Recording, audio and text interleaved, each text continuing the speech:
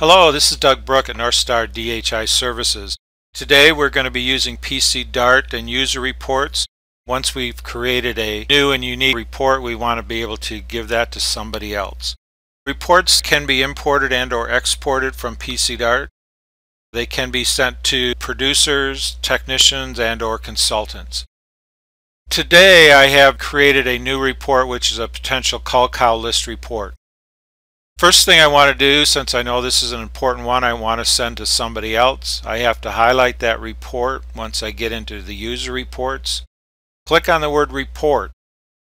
And in the drop-down box, we'll find export report.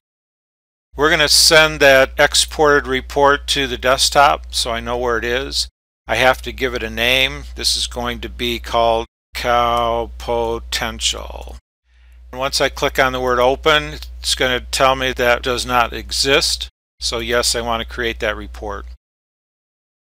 Once I have given that report file a name, I need to choose that report and send it over to my cowpotential.rpt that's sitting on my desktop. Then that will be added. I can then take that file, I can put it in an email as an attachment to send to somebody. I could copy it to a USB drive. I could take that cowpotential.rpt and I can hand it off to somebody and they can go to their PCDART program and then import it.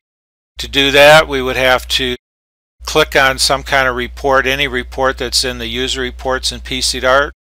We go to the word report and we import. We have to go find that file that we just created on the desktop or it could be on the USB drive highlight that, say open, take our report, send it over to our whole list of user reports that are there, say OK, and it's going to copy it as a new number. It will not overwrite a numbered report if it's already there.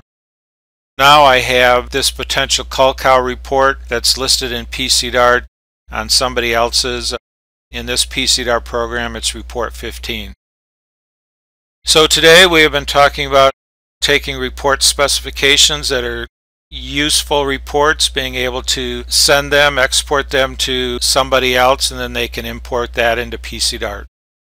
This is Doug Brook at Northstar DHI Services. You may contact me at 1-800-471-3045 or my cell phone at 1-517-281-8547 or email me at brookd at northstarcooperative.com. Thank you.